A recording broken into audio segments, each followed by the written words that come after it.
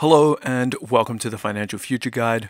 I'm your guy, and I'm your guide. My name is Alex, and today we're looking at the Canadian economic news that has come out in the last couple of months. We'll be covering everything from the Canadian dollar, the unemployment rate, and then we'll get into recent news from Canadian companies such as Cineplex, Bell, TELUS, RioCan, Air Canada, and more. If at any time you're enjoying the content, remember to like, subscribe, hit the bell notification. With that out of the way, let's begin. I'm only going to spend a quick moment on this because I know we're all sick of it. However, it does relate to the overall economy. But over the last few weeks, we've seen some really positive things happening where new cases actually peaked mid January and since then are down quite substantially. Hopefully, this downward trend continues and we can get out of this shortly. Although the new cases have pulled back quite a bit in the last few weeks, there was still that fairly large spike in January, and this resulted in lockdowns that led to 213 jobs being lost. These lost jobs obviously affected the unemployment rate, which rose 0.6% to 9.4. This is the highest we've seen since August 2020. And as I mentioned in the previous video, with lockdowns coming into place, we're obviously going to experience difficulties in the job market, and that in turn is going to cause the unemployment rate to rise. With the pullback in cases and talks of lifting the lockdowns, I think we should expect to see the unemployment rate continue its downward trend shortly. Statistics Canada estimates that Canada's economy shrank by about 5% last year. They go on to say that the country's gross domestic product grew seven months in a row after steep drops in March and April, but despite that streak, the numbers mean the economy was still 3% smaller in November than it was last February. Their preliminary estimate shows the economy contracted by 5.1%, and by comparison, the preliminary US data suggests their economy shrank by 3.5%. In brighter news, retail sales continue to rebound, having risen seven months in a row since April's lows. Taking a look at the chart, we can see that retail sales have actually fully recovered from the pandemic, and they've actually had quite significant growth over the last few months. This is definitely a positive sign that the economy is on the right track. And over the last year, many people have had less things to spend money on. So I can imagine retail sales will continue to grow as lockdown measures are lifted and we head into the nice weather of spring and summer. To get a good snapshot of the overall Canadian market, we'll take a look at the S&P slash TSX Composite Index, as this represents roughly 70% of the total market cap of the Toronto Stock Exchange. There are about 250 companies included within this index, so it gives us a fairly good idea of the overall Canadian market. Since the March lows, we've seen a nice gradual recovery over the last few months. We're now actually breaking all time highs, up over 2.5% from the February highs we saw prior to the crash.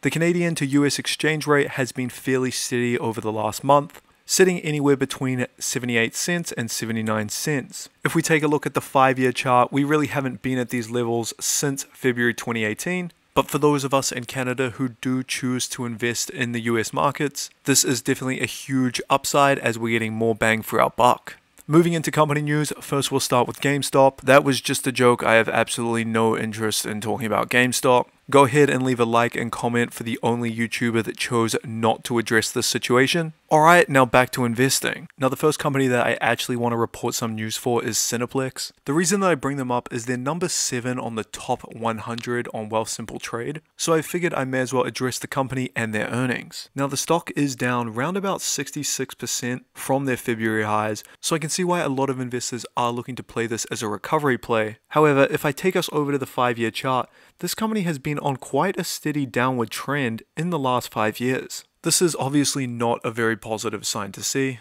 And with the rise of streaming services, I do believe there are some challenging roads ahead for cinemas. Now, before you go and comment that I don't know anything, check out Mulan, check out Wonder Woman. I'm not saying cinemas are done for, I'm just saying the environment may look a little bit different in the next decade.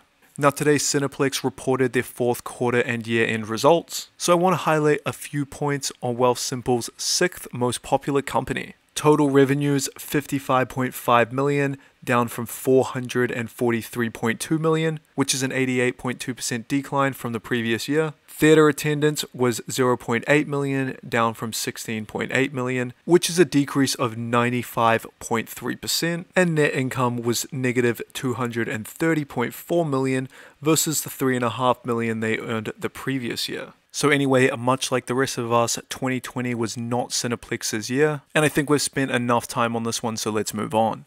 Bell Media cuts radio jobs. Bell's Director of Communications, Mark Choma, said that as the media industry evolves, we're focused on investment in new content and technology opportunities while also ensuring our company is as agile, efficient, and as easy to work with as possible. The Bell Media sector of the company includes CTV television network, specialty TV channels, radio stations, and production studios. As Mark Choma touched on, the media industry is evolving quite rapidly, and I think it's tough for large telecommunications companies to keep up with the current industry. On my recent analysis video of TELUS, I did touch on the media industry as a whole from a telecommunications perspective, in which others like Rogers and Shaw have struggled in this space, so it does not surprise me that Bell is also facing similar challenges. And on the subject of TELUS, they have formed a strategic alliance with Google Cloud to bring digital transformation to key industries, including communications, technology, healthcare, and agriculture. This 10 year agreement will introduce new solutions and improved customer experiences, while also driving new efficiencies for TELUS through its commitment to public cloud. The partnership is focused on three main initiatives reimagining the future through co innovation. One of the areas of focus will be on redefining the way healthcare and agriculture solutions are delivered, providing consumers with fresher and healthier food by improving traceability, and enabling business customers to streamline their IT and network operations. They're also looking at smart home technology, bringing state of the art connectivity, control, and convenience to more families and businesses.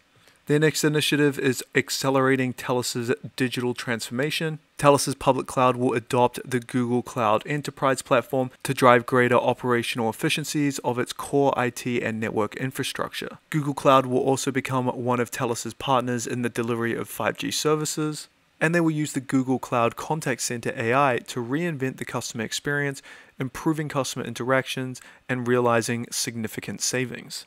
Finally, they'll be embracing sustainability and social responsibility. And this is really just about giving back to the community. On the topic of TELUS, the division TELUS International had their IPO in the first week of February, making it the largest ever tech IPO for the TSX. TELUS International describes itself as a customer experience company and has 600 clients, including Google, Uber, TikTok, PayPal, and Zara. Despite the spinoff, TELUS Corporation still owns about 67% of the voting power in TELUS International. Now, despite not being my favorite retail REIT, I know that a lot of Canadian investors do like RioCan, and they have seen resilience from tenants even as Q4 net income falls by 50%. Now, although the net income comment in that headline may sound alarming, as we know, REITs are focused on funds from operation, or in other words, the monthly rent that they collect from their tenants. RioCan said that only a quarter of their tenants were closed at the end of 2020, and it classifies almost 80% of them as strong or stable,